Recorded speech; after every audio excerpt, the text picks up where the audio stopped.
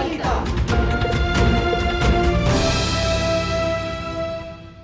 Magandang umaga, narito na ang mga unang balitang hati ng GMA Integrated News. Igan, pinagbabawal na ng Philippine National Police sa kanilang mga tauhan ng pagpapatato. Ayon kay PNP spokesperson Police Colonel Jean Pajardo, alinsunod ito sa memo na inaprubahan noong Marso. Bawal na pumasok sa PNP ang mga may tato. Ang mga pulis naman dati ng meron, kailangan ideklara kung saang parte ng katawan sila may tato at bawal ng dagdagan pa yan. Nakaka-apekto kasi sa integridad ng mga pulis ang pagkaroon ng maraming tato. Inaasahang magbabalik sa normal na operasyon ngayong araw ang Philippine General Hospital kasunod ng inspeksyon sa mga napinsala ng sunog noong Sabado ng gabi. Inilikas sa mga pasyente mula sa emergency room ng masunog ng storage room malapit sa ER at pansamantalang hindi tumanggap ng mga bagong pasyente. Sa ngayon, nakabalik na sa ER ang mga pasyenteng inilikas. Patuloy ang investigasyon sa sanhi ng apoy. Naghalughog ang mga tauhan ng National Bureau of Investigation sa headquarters ng Igorot Warriors International Incorporated sa Baguio City. Ito ay para sa paghahain ng warrant of arrest kay dating Bureau of Corrections Chief Gerald Bantag kaugnay sa kasong pagpatay sa broadcaster na si Percy Lapid. Pero bigo ang otoridad na makita roon si Bantag. Ayon sa NBI, may nakapag-tip sa kanila na nagpupunta roon tuwing weekend si Bantag. Sabi ng caretaker, minsan niya lang naabutan si Bantag roon noong bago pa ilabas ang warrant. Ayon naman sa barangay chairman doon, mula noong isang taon ay hindi pa bumabalik sa kanyang opisina si Bantag at hindi rin daw nila makontak Inilabas na ng Department of Social Welfare and Development ang guidelines sa pagpapatupad ng programa para sa teenage mothers. Ang psychosocial support and other interventions for adolescent mothers and their families project of Protectin ay layong tulungan ng kabataang maagang nagbubuntis. Ilalapit sila sa mga ehensya ng gobyerno at mga support group para tulungan silang magampanan ang mga tungkulin bilang magulang. Bibigyan din ng mga livelihood project at educational assistance ang mga teenage mother. Bukod dyan, magpapatupad din ng proyekto ang gobyerno para labanan ang diskriminasyon at social stigma sa teenage moms.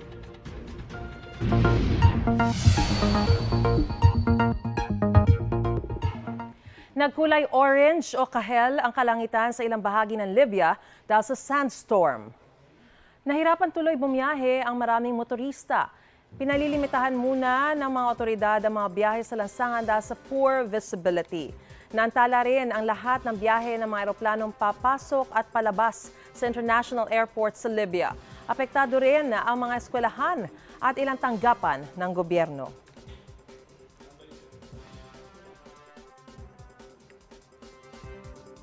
Umalma ang China sa mga pahayag ng G7 kaugnay sa mga issue sa South China Sea.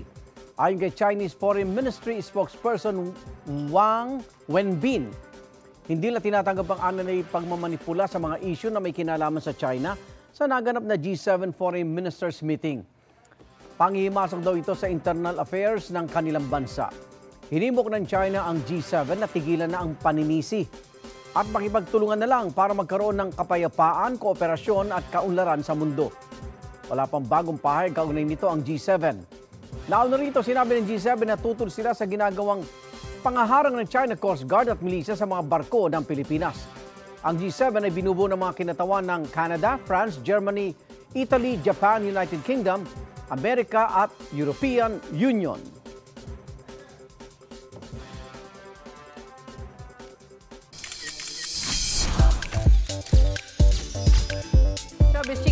Umaga. Another milestone ang na-achieve ng 2023 Metro Manila Film Festival Best Picture na Firefly. Kabilang ang obra ng GMA Public Affairs at GMA Pictures sa mga pelikulang ipinalalabas ngayon sa Beijing International Film Festival 2024 sa China. Tatagal ang screening ng pelikula hanggang April 26. Last February, pinalabas din ang Firefly sa Manila International Film Festival o MIFF sa Los Angeles, California sa Amerika, kung saan nanalo ito ng Best Picture, Best Director na si Zig Dulay at Best Supporting Actress naman si Alessandro De Rossi. Congratulations! Huli ka may isang motorcycle rider ng isang ride-hailing service na iligal na dumaan sa EDSA busway. Sa video, makitang sinita siya ng mga MMDA traffic enforcer pero sinubukan pa niyang tumakas. Tinangkapan niyang dumiretso sa pag-andar kahit nakaharang na ang mga enforcer. Nang mapalibutan, to lang tumigil ang rider. Magay ng reklamo sa Land Transportation Office ang MMDA at hihilingin na kanselahin ang lisensya ng rider. Plano rin ng MMDA na magsampa ng mga criminal complaint laban sa rider.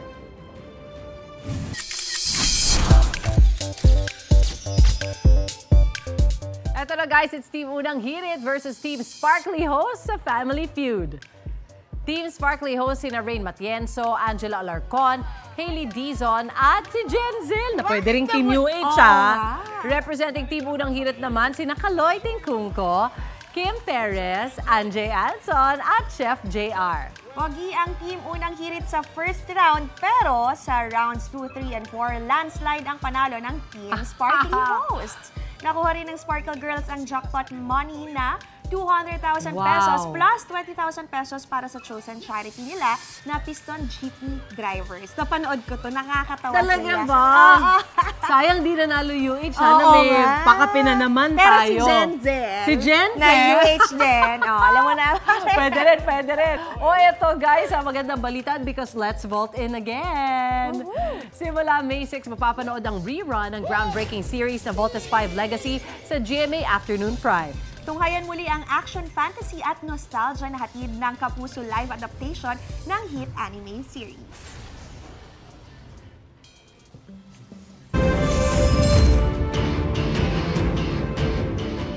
Nasunog ang isang barko sa Navotas kaninang madaling araw. Sa inisyal na impormasyon mula sa mga bumbero, nagsimula ang apoy sa engine room. At yan ang unang balita live ni James Agustin. James? Igan, iniimbestigahan pa ng Bureau of Fire Protection na botas yung nangyaring sunog sa bahagi ng isang kinukumpuning fishing vessel sa barangay San Jose kanina. Mag-alas 4 ng umaga nang biglang masunog ang bahagi ng kinukumpuning fishing vessel. Sinubukan pa raw ng ilang stay-in na empleyado na apulahin ng apoy, pero hindi kinaya kaya tumawag na sila ng tulong sa BFP. Itinaas ang unang alarma. Nasa apat na fire truck ng BFP ang rumisponde. Dagdagang anim na fire volunteer group. Agad namang napula ang apoy matapos sa mahigit labing limang minuto. Sa investigasyon ng BFP, nagsimula ang apoy sa kanang bahagi ng engine room pero inaalam pa ang sanhi nito. Ilang araw na raw nakadaong doon ang fishing vessel dahil kinukumpuni ang ilang bahagi nito. Wala namang naitalang sugatan sa insidente. May pumunta po rito na humihingi ng tulong. Ah, agad agad po tayong lumabas para puntahan kung saan man lugar yon pero malapit lang po rito. Kaya nakaresponde kagad tayo ng mabilis. Pagdating kagad natin doon, wala naman pong nakasagabal kaya nakapaglinya po kagad tayo ng ng mga host natin. Ang bigla po natin na naapula po kagad ang apoy. Samantala, Igan, patuloy yung sinasagawang investigasyon ng BFP na bota sa tinaalam din nila yung kabuang halaga ng pinsala sa nangyaring suno. Yan ang unang balita mula rito sa Navotas. Ako po si James Agustin para sa GMA Integrated News. Dahil sa tumitinding init ng panahon, tila wala ng patayan ang mga electric fan. Sa Batangas nga, pato ang repair shops dahil sa dumaraming nasisirang electric fan. Ang Department of Trade and Industry, DTI, may paalala na sa accredited shops. Doon lang kayo pumunta para makatiyak sa maayos na serbisyo. Live mula sa Batangas City, may unang balita si Paul Hernandez ng GMA Regional TV, Balitang Southern Tagalog. Paul? Igan, good morning. Bukod sa paalala ngayon ng DTI, may monitoring team yung kagawaran na umiikot sa mga tindahan at repair shop. Ang mahuhuling hindi sumusunod, i-issuehan ng notice of violation. Nag-canvas ng pyesa para sa pumaliang electric fan si Francis. Nasira raw ito nung isang araw. Kung kailan pa naman kailangan-kailangan nila ngayong danas ang nakapapasong init ng panahon. Sira po eh. Bakit sira? Eh, siguro overuse na siguro. Gawa sa init ng panahon po. Kukumpunuhin na lang daw ng kaibigan niya kaysa bumili ng bago. Dumarami pa nga ang nagpapagawa ng electric fan sa repair shop ni Inoy. Ang dating limang piraso kada araw na ginagawa nila, dumodoble hanggang triple pa ngayon ang bilang. Yun naman pong iba magdadala ngayon, gusto mayari agad. Dahil po sobrang init, eh, para magamit po agad nila. Nag-home service pa sila sa paggawa ng aircon. Tinitiyak daw nilang pulido ang pagkaka-repair para iwas disgrasya kapag gagamitin na ulit ng customer. Dahil kabi-kabila ang mga repair shops at dumarami na rin ang bilang ng mga nagpapagawa ng sirang appliances, bili ng DTI na sa mga lehitimong repair shops magpakumpuni. Binibisita raw nila ang mga repair shops sa iba't ibang lugar para matiyak na accredited sa kanila ang negosyo. Importante rin daw na hanapin ang Import Commodity Clearance o ICC at Philippine Standard Markings o PS Markings sa produktong ibinebenta. hindi pwedeng gumawa, mag-manufacture ng electric fans at ibenta sa mar- merkado not unless meron siyang corresponding license sa Bureau of Philippine Standards. If it is locally manufactured, ang hahanapin po natin ay yung PS mark niya. Ayon sa DTI, may monitoring daw sila nito sa mga tindahan. Kapag hindi compliant, nag issue raw sila ng notice of violation. Igan, sa mga oras na ito, medyo ramdam na yung init ng panahon dito sa Barangay Santa Clara sa Batangas City kung saan tayo nagla-live sa ngayon. Base sa pag-asa, batay sa projection nila papalo sa 42 degrees Celsius yung heat index na mararamdaman sa Batangas. Igan. Maraming salamat, Paul Hernandez ng GMA Regional TV, Balitang Southern Tagalog.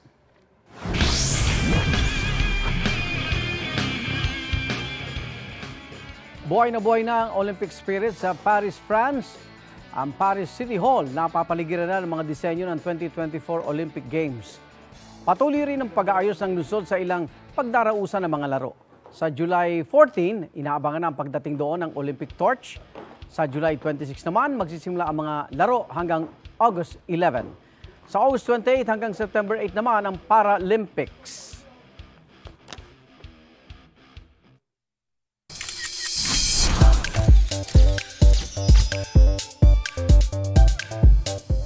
Matapos ang successful movie comeback na Rewind, sasabak naman sa indie film si Kapuso primetime queen Marian Rivera. Bibida si Yan sa 2024 Cinemalaya Independent Film Festival entry ng GMA Pictures at GMA Entertainment Group na Balota. Bibigyan buhay ng My Garden Alien lead star ang karakter na si Emmy, ang gurong magliligtas sa huling kopya ng Balota sa gitna ng eleksyon. Wow! Ang pelikula ay isinulat at idinirect ni Kip Oy Banda at idara, idara, ah, Idaraos. idaraos ang Cinemalaya Independent Film Festival sa August 2 hanggang 11. Intense yan, ah. Igan, mauna ka sa mga balita. Mag-subscribe sa GMA Integrated News sa YouTube.